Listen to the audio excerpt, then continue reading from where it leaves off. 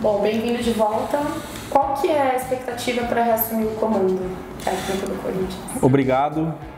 A expectativa são as melhores possíveis, por já conhecer muito bem o ambiente, conhecer a casa. Né? Sei que a diretoria está se esforçando muito aí para que faça um elenco forte, né? então a expectativa são as melhores possíveis aí de a gente fazer uma pré-temporada boa, um início de campeonato muito bom.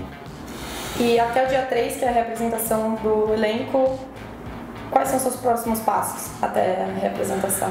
Chegando agora, né, sábado, dia 15, já aqui no Parque São Jorge, já pensando em tudo, começo da semana né, junto com a diretoria aí para acabar de fechar o elenco. Né, já, já, a gente já vem conversando à distância desde o meu anúncio, né, mas agora o primeiro passo é isso de, de, de buscar jogadores com o perfil do Corinthians para que a gente possa fazer um elenco bem equilibrado e bem fortalecido.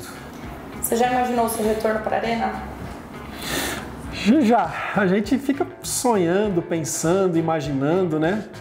Um lugar aí que de tantas conquistas, se participando, nove anos e meio no clube, ver a construção do estádio, depois tudo que aconteceu ali no estádio comigo, a título paulista ali contra a Ponte, depois o título brasileiro sendo confirmado no estádio também contra a Fluminense.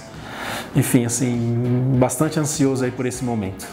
E você conquistou os dois últimos paulistas, né? E a última vez que o Corinthians foi tricampeão foi na década de 30. Você acha que é um desafio extra? é, é, mais uma responsabilidade. É, o Bi, com o mesmo técnico, já fazia muitos anos também, acho que foi nos anos 50. E agora o clube foi tri nos anos 30, né?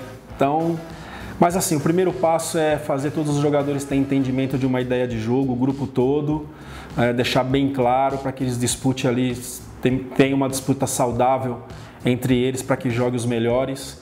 Né? Então, é... mas quem sabe, vamos passo a passo, dia a dia, jogo a jogo aí primeiro para que a gente possa jogar bem.